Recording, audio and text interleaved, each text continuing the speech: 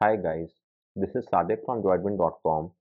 So the latest Android 13 update has brought in quite a few changes. One among them is the improvement to the overall security of the OS. As a result of this, Google will no longer allow the third-party apps to get direct access to system-level APIs without your permission. So while this is definitely a welcome move, however, it might also cause a few confusion, especially if you are sideloading apps from outside the Play Store. Let me show you how. So this is the app known as not Notification Listener and this app makes use of the notification API of your phone. Now if I try to open this app, let me show you once. If once I open this app, it will ask for the notification access. So I go to settings and under not allowed, if I select this app, you could see the allow notification access option is there, but it has been grayed out. If I try to enable this toggle, it will show restricted settings and for your security, this setting is currently unavailable. As a result of this, I could no longer be able to enable the toggle of this app. Similarly, there is one other app DND Sync, which is used to sync the DND between your Galaxy smartwatch and the Pixel phone. Again, let me show you if I go to this app and if I open this app, it will ask for the DND permission. And if I select the DND Sync app from here, the toggle is grayed out and I can no longer be able to enable this notification access. Since this is one of the most important aspect of any app, the inability to get notification would be a cause of concern and the app would also not be able to function without this permission. So what else can be done?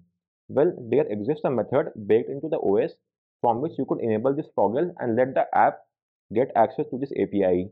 And in this video, we'll show you how to do just that. So let's get started. First and foremost, go to the settings menu, then go to apps and select the app of your choice. For example, let me select the notification listener app. Once you go to the apps app info page, tap on the overflow icon at the top right and you should now see the allow restricted settings option. Just tap on it and verify your fingerprint via auto pin and then you will get a notification that settings allowed for this app. Now if I try and open this app once again, you could see, let me show you once again. Now if I try and open this app and go to the settings menu and select the notification listener, I will now be able to enable the toggle and allow with the permission just tap on allow. You should see the toggle have been enabled. And now I will be able to use the app without any issues as you could see. Similarly if I open the DND sync app now let me show you. I'll do the same DND sync app. Long press the IP icon go to app info then tap on the overflow icon at the top right and select allow restricted settings.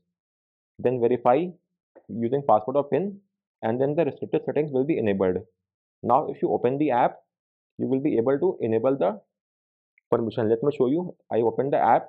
Now if i go to the dnd sync select it i will be able to enable the toggle right away. Tap on allow and the allow notification access has been enabled. Now you could easily use the app without any issues. As you could see that dnd permission has been allowed. So guys this was all from this video on how you could bypass this restriction. If you have any queries do let me know in the comment section.